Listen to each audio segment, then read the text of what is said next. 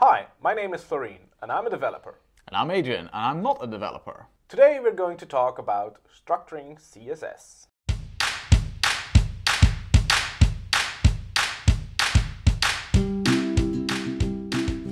That sounds super exciting, man. It's going to be our bo- most boring episode ever. Awesome. Looking forward to it. So, but before we do, We have this. I have no idea what this is. It says Irn-Bru. And on the back it says brewed in Scotland to a secret recipe for over 100 years. Um, yeah. what, what, what more can we? I hope this. I'm told it's bright orange, so maybe. There you It go. is, it is bright orange. So is, is it like fortified with iron or something? I don't even know. I, I don't know, man. Uh, it looks ghastly. I'm going to finish this. Okay then. That's a bit uneven, right? You want to trade? Ooh, it's uh, pungent. Cheers. oh god. Excellent. Actually, initially a bit taken aback, I, I'll admit. Uh, So okay. This tastes like uh, what is called, Crodino or something. Yeah. So structuring CSS. We've been we've been working together for a while, and we have, I'm not a developer. as you have stated. uh, when I started working in code, like designing stuff in code, uh, sometimes the working together was a bit complicated, I think, just because of the fact that I didn't fully understand what the structure that you guys use actually but that's is. mostly about finding stuff, right? I mean, um, you, ha- you have an element on, uh, on on the page, and you're going to inspect it. Okay, and where do I find it in my source code? Uh, exactly. So if I would, well, actually use search in Sublime quite heavily, so I can usually find stuff when I know the class or whatever. Um, but you know, sometimes it helps to understand how is stuff put together, and I think it's especially important if you're working with developers on the same stuff at the same time, so that I don't go off and do my own thing and just. I mean, I can find my stuff, no problem. I, you know, it's all good.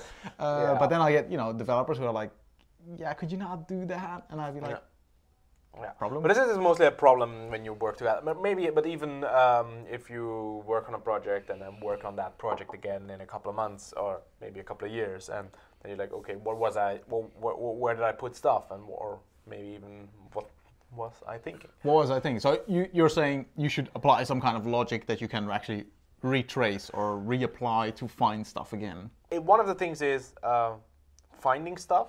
Okay. Um, so that means in what file do I put put what, Mm-hmm. and how I'm going to call that file, and and how in what directory I'm going to put that file. Okay. um, but also how I'm going to name things. Yeah, there's there's another discussion about So that it, no, this is, it's I think that's part of the same problem. I I think that's fair to say Luckily, uh, from my limited understanding of yeah. of this issue. Yeah. Yeah, luckily some uh, some really smart people have thought about this as well, um, and there are actually a couple of solutions to the uh, to have a consistent naming scheme or uh, doing creating CSS in a consistent way. And one of these, it's not a technology, but one of these Naming na- conventions. na- conventions is called BEM. Um, That's it has been known, pioneered by uh, Yandex in, uh, in Ru- from, from Russia. It's Yeah, a big- so- big search engine in Russia. Um, Russian Google. Yeah. um, it's called, uh, as I said, it's called BEM, and it means uh, it's uh, short for block element modifier, and that's how they build all their um, CSS. So uh, a block is uh, can be a container, and a block can contain one or more elements, Yeah. and elements um, are tiny bit before. For instance, you have. Uh, a header that can be a block, and then in there you have an, uh, a navigation element, for instance, or, Okay, or, or a, a button, logo element, or, or a logo element, or a button Okay. element, or a couple of button element and button elements. So where does the modifier part come in then? Well, you can have, for instance, uh, for instance, part of state is uh, in there. So Okay. you have an um, uh, for instance, if you at a, let's take it very simple. If you have a navigation bar and it has an active menu element, so you will add a, that would be a modifier for the menu button element. So you have Okay. an active active modifier. Okay, so it's basically like uh, an, an alternate state of something. Could Yeah, be, or an or it could, be also it could also be in a form where you have a primary and secondary action, and then you have a uh, um, a modifier primary and a modifier secondary for primary and secondary buttons. Okay. Um, Could this also just quick question? Could this also be like, uh, let's say you have a button that goes on a light background and a button on a dark background? Would that be something You- that you, you would could, do, put in um, a but- I'm, I'm just curious. I'm not a fan of uh, have naming based on how they look, so or, or how they're placed. So you want to have them as um, as independent from your rest, and that's actually the idea behind BEM is that you create very independent uh, CSS that can be used on multiple locations. And Yeah, so you keep it flexible as you can. Yeah, and it will So you don't call it blue, and then next time you're going to use the same styling, but you actually kind of need it to be yellow, yeah, and, and so it's still called blue. it's still called blue. Okay. So that, that that gives very confusing uh, Okay, that's interesting. But BEM is one method to do this, and I'm really not very fond of doing hardcore BEM everything because uh, I think there are good ideas in BEM, and uh, there is a lot of discussion online about whether or not you should use BEM um, because one of the drawbacks of using full everything from BEM is that you basically just style everything based on classes and you don't Yeah. use the uh, power of CSS and that's inheritance and that's more complex selectors anymore. Yeah, because you basically isolate everything. You isolate everything, yeah. Okay. Yeah, And, and a lot of people say that if you don't have the problems Yandex has, you probably should not use BEM. That's I- basically what I've been hearing about BEM. Like, unless you're Yan, you're Yandex, you shouldn't go full BEM. Yeah, but I think that's not. Yes, full BEM. Yeah, and I think there are a lot of ways where bigger sites or long sites that need to be maintained over a longer time Mm-hmm. can really benefit from some of the ideas behind BEM. Um, I think just having the, like a naming convention, just how you build up a name for something, is already quite valuable. it is very Even if the rest of them you don't really use. Yeah, exactly. And I, um, I was very when I first uh, learned about BEM, I was very against the way they use they do class naming with under, double underscores and double dashes. Yeah. Uh, because I think uh, man is really ugly and really long class name. is It's- really ugly. But functionally, it, it it makes sense. And just as you said, it's really nice to have a consistent way to name things. Mm-hmm. On the other hand, still even then it can be hard because you consider something an element that I don't, and um, Are there hard and set rules for that? no, I guess that's not. It's just like you have. I mean, it to- would be clear what is a modifier, I guess. Or even I guess there, no, no, that that's pretty pretty obvious, but When is something a, an element of something, or when is it a an, like a, Ex- an exactly, and, independent and that's and yeah, yeah, I can that- understand and, that. and that's a discussion probably you, you I- need to have. Yeah, yeah. I, I use BEM as a naming convention. I don't know much about BEM in general. Like what else is behind it besides just the like the, the double underscores and the double dashes. Um, but even just that helps me understand how are, uh, for instance, the structuring in the file folder. How is that put together? How do you organize um, the different CSS files for everything? Well, it uh, having a, a, a using a convention like BEM makes that quite easy because then you can have a rule that you have a folder and you call them components and everything and every uh, or you name them or call them blocks and then every BEM block Should is be in there, should yeah. be in o- its own file and Yeah. there should be no code for that block in any other file. So it, you know So it's- it's like self-containing. but it's self-containing, yeah.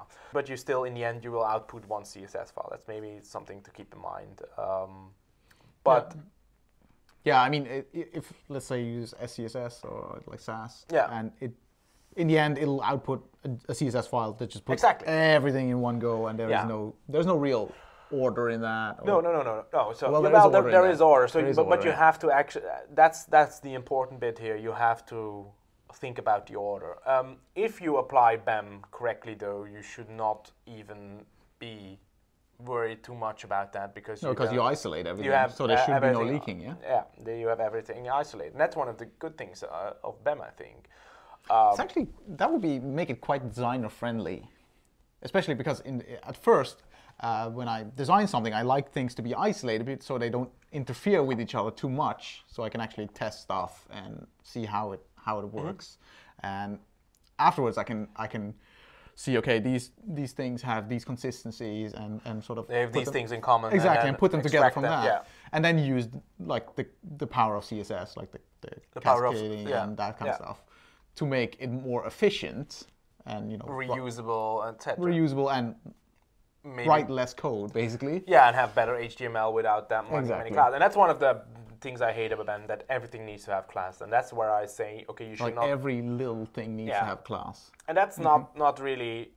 I don't think that's a good way to work. Um, I think you that would be just dumbing down CSS.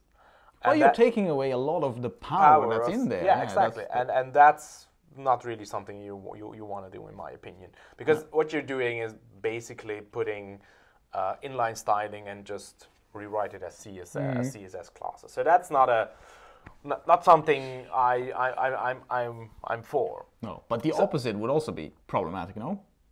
I mean, if you were to say, well, uh, we are not going to do like a, a, a structure that isolates, and we're going to use um, as few classes as we can. I don't think you can do it entirely without classes. You could Maybe you probably, could, but depends depends on your project. I mean, that would also make it difficult to, to work with, no? yeah, it makes it also difficult to understand. Um, and of course, BEM is just one of these mm, uh, methodologies. Um, You can have uh, SMACSS. It's uh, Jonathan Snook th- thought this up. Yeah. Um, you have uh, OOCSS, Object-Oriented CSS, and then you have uh, Harry Roberts Inuit, and it's kind of it's BEM based, um, but he has some extra rules, I think. Um, but with all these uh, conventions, you have to be very careful that there is no real scoping in CSS. And I, for my part, I think that's that's a good thing.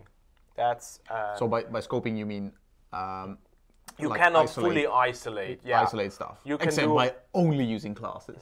Um, but even then, if you're going to nest class one in class two, and you use EM font sizing, that's Yeah. and that's actually something they try to prevent by using BEM. But I don't think you should. would mean a massive amount of code that you need to write. Just additional stuff you yeah. need to write for everything. Exactly, and that's what I think. Um, having true scope, you have to keep in mind there is no true scoping, and uh, in the end, that's just one file. But I'm I really like being able to split up the f- different uh, BEM elements or the different components, if you will. If you're not you're not a fan of, of BEM, but you still have uh, some kind of reusable element. And we talked about this in our style guides episodes. Yeah. You will you will want to have, uh, for instance, all buttons and different styles of buttons, and being able to apply there them where you can. and be flexible with them. Exactly. Um, Okay. But it, uh, this is when you say, well, we need to have some kind of structure. That that is mostly for your benefit, yeah.